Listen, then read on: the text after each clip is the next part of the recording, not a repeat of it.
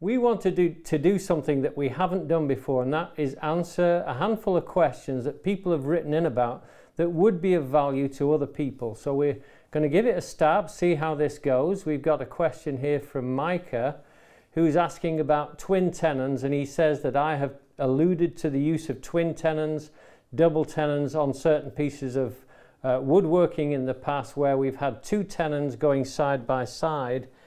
And he says that he's going to be doing a two inch uh, rail going into a, th- a three and a quarter inch square leg. So we've got two pieces of material here.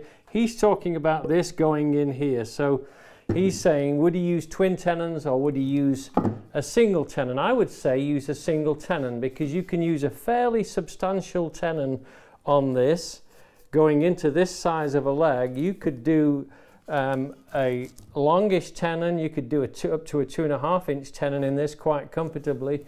One and a half would be long enough, and I would go with a three quarter inch tenon.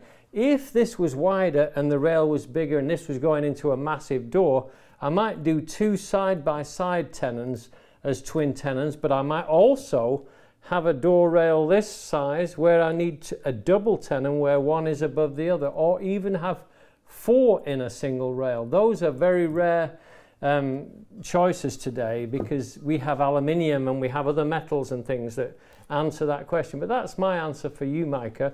So yeah, a three quarter inch tenon going into a three quarter inch um, mortise hole is plenty good for what you want. The next question came in from Connor and he's asking, can you talk about the transitional planes? Well, he's got a series of planes that were made in America.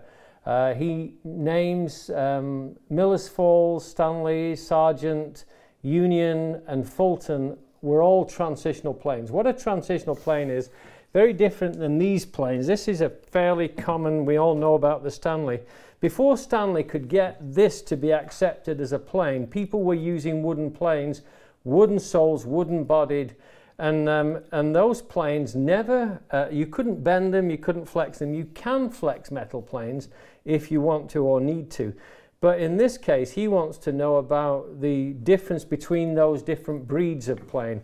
Well, the answer is that all of them worked and worked well. They were basic much, uh, basically much of a muchness. You couldn't really differentiate between. I've actually used most of those planes and couldn't find any one that was better than the other. So yes, go ahead and buy them if you get the opportunity. His next question was, some of them can be had for much cheaper. Okay, we'll leave that. I've also heard you mention that long metal planes can flex, but wooden ones do not. I've just answered that. Wooden planes wouldn't bend. You couldn't bend them because of the nature of the wood. Uh, I said that wood skates and glides across the surface of wood. This was the big difference. This was why Stanley could not get the status quo uh, woodworkers of the time to change from wooden planes to metal planes because they were so light it wasn't the weight of the plane, it was the interaction between the wood uh, and the sole of the plane. So if it was a wooden plane, it would glide across the surface like a swan across a lake. But when it came to the metal planes, they stuck to the surface and, um, and they would pull and drag. And so uh, that was the main reason. So for 40 years, Stanley made a plane that had, it was basically this plane on a wooden sole, just like this. And the wood against wood resolved the issue, but eventually the knowledge of knowing about those planes, the wooden planes, diminished because the planes were used a lot less, they were expensive to make. Gradually he filtered in and to a completely all metal version, the one we're used to today. So we go with the lightweight planes, we recommend them over some of the heavyweights that have crept in on the market um, because you know of chatter. They say that the heavy planes and the thick irons cause chatter, uh, uh, relieve chatter. That's not the case. Usually, it's to do with the friction of the sole on the surface of the wood that causes the most scudding and chatter that you get. So if you just use an oil in a rag like this on the underside of your sole, and then you can take the shavings, you get no chatter. It's perfect. All right. Uh, so I've given that answer as best I know.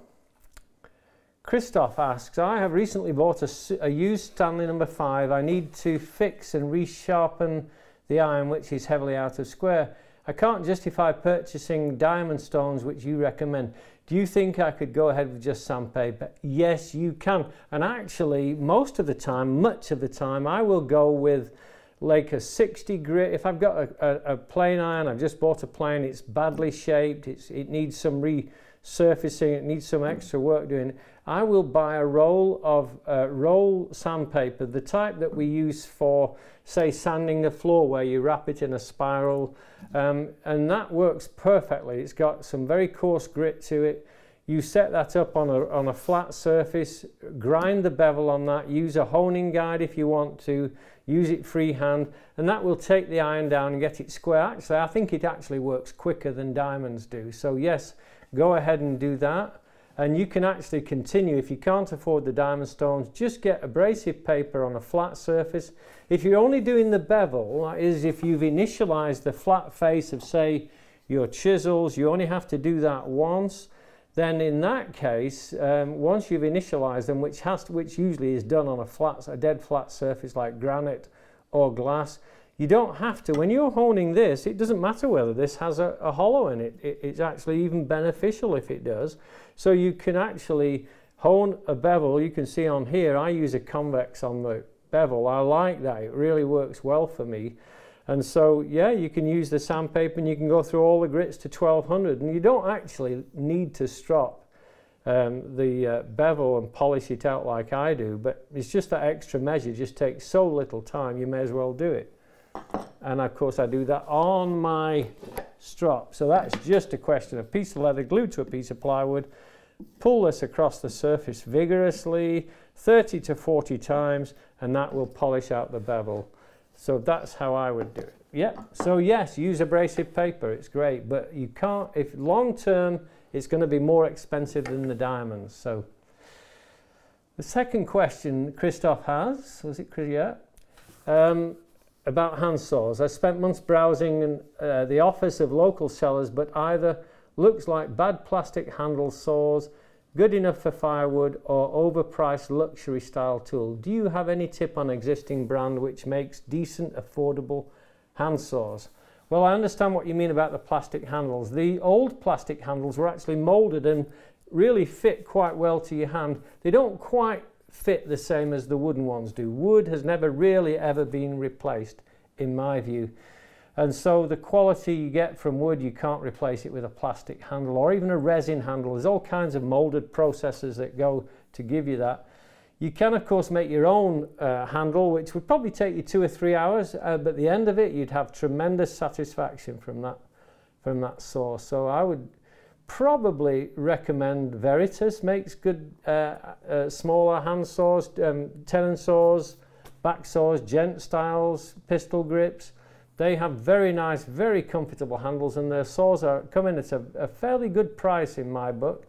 Uh, but then again, you can also go to Spear and Jackson. They've come out with some saws that I think give you good steel, a good handle, and you may need to work on them. We've got some videos out on that to upgrade those. So that's that one. Robert asks, he, I acquired a Disston Type 7 rip saw with a beautiful applewood handle. The problem is it has a slight bow. I watched your video on straightening a back saw. Do you have a video on straightening a handsaw? It's hard to find a saw doctor nowadays. It's so simple. Here I've got a saw. Now this one is straight. The blade is straight. So if I look down here, has a slight curve this way. What you do is I'm going to bend this one out. I'm going to put a bolt in it. So there you can see now I've got a fairly consistent bow along the, the length. Out. I'm just going to tell you I have if you can't see it.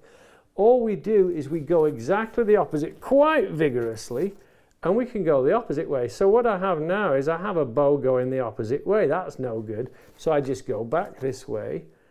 And now I have a dead straight saw. So here is my saw, it's dead straight. It's just a question of boldly going where no man goes.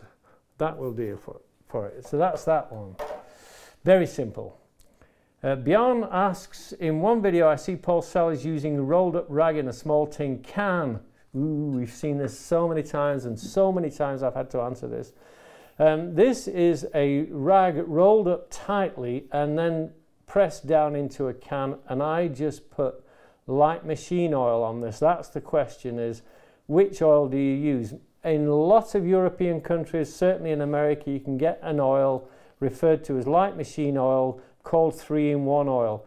But wherever you are in the world, whichever oil you would use to oil, say, a lock or the hinge of a door, the hinge of your car, that will work. Don't use oils that will spontaneously combust. Go to uh, Google up um, spontaneous, uh, spontaneously combustible oils and you'll find lots of good information there that I don't need to go through again. That will answer that question. Just top this up. You just take your oil, put the oil in, circle around, leave it, let it soak in, and then go back. Three months later, you can do it again. And you just soak the underside of your plane like this. You can soak the side of your saw. I do this all the time. It really reduces the friction tremendously.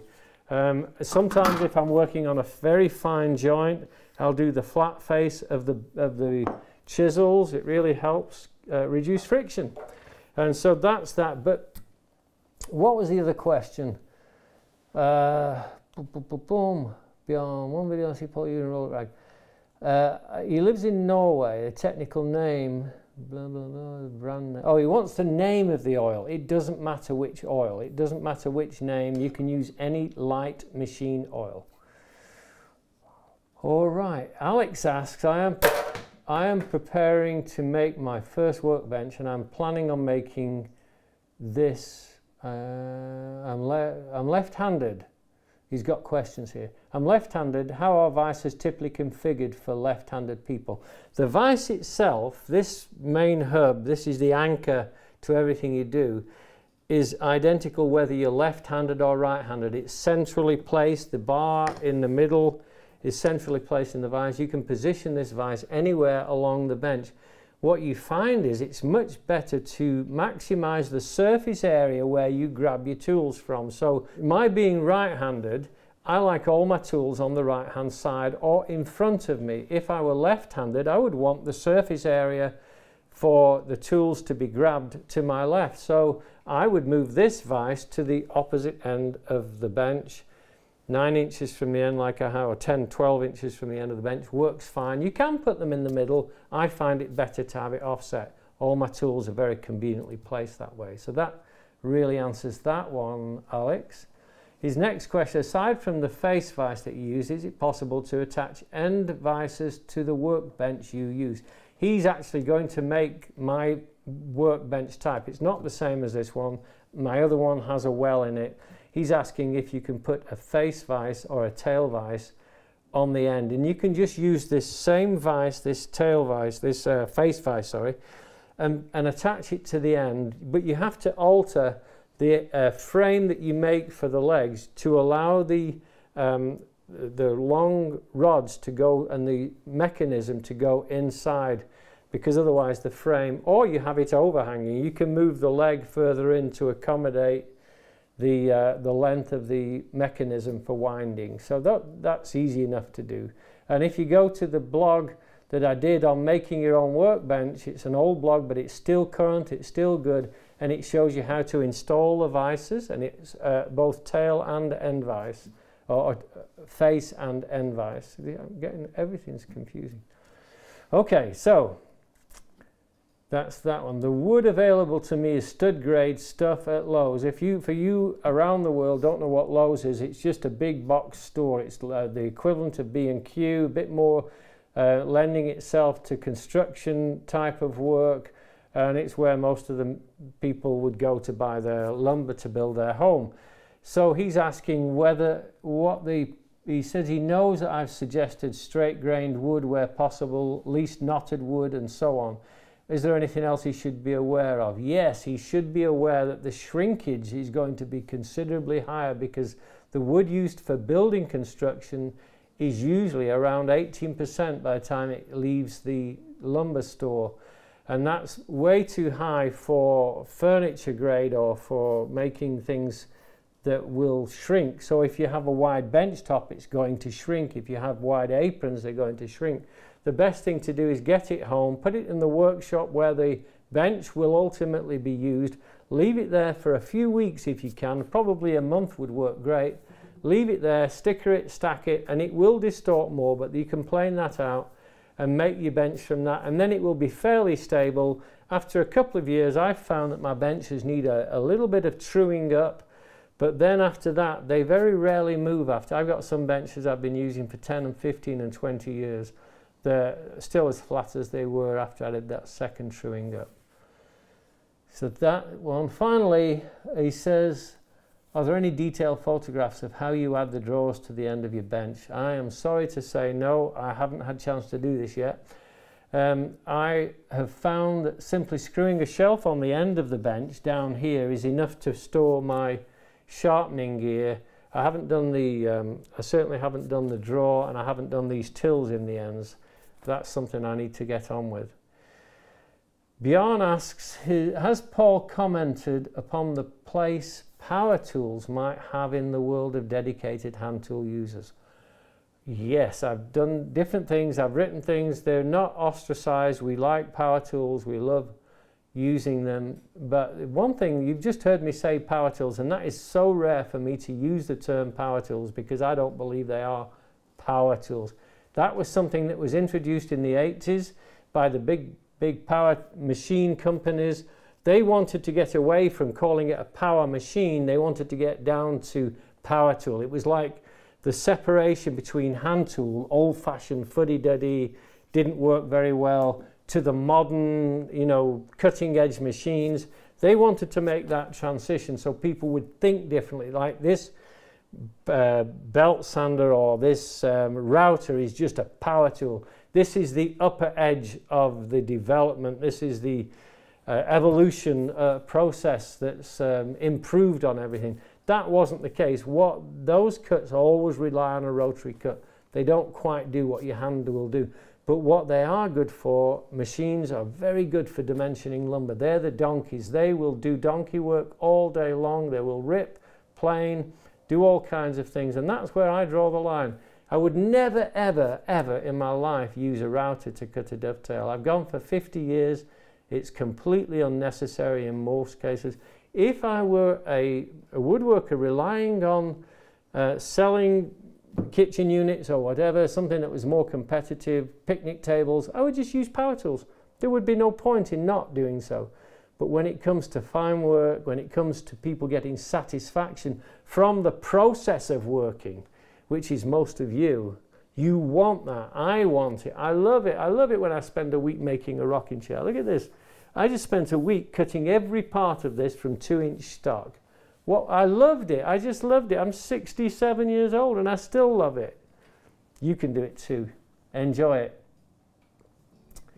And that's all we got time for. We're going to do some more of this. I hope this works. It, I've enjoyed it. It's, it's a good way of making contact with you. So tell your friends about it. Thank you.